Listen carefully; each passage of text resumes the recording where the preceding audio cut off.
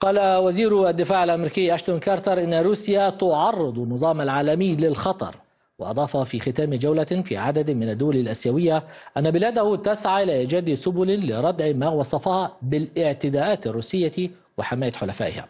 وأوضح كارتر أن روسيا قد تلعب دورا بناء في تسوية الأزمة السورية مشيرا إلى أن بوتين لم يفكر جيدا في أهدافه في سوريا.